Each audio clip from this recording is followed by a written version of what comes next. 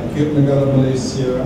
Mapang UTM kerana secara berspadu telah melahirkan satu inisiatif baru untuk melakukan pembaharuan kepada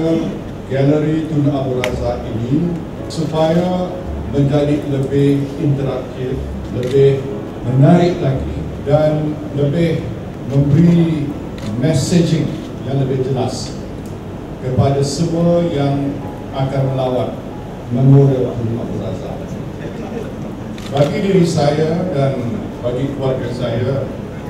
kehadiran kami pada petang ini di Sri Taman ini sudah tentu syarat dengan segala memori sebab kami telah tinggal di sini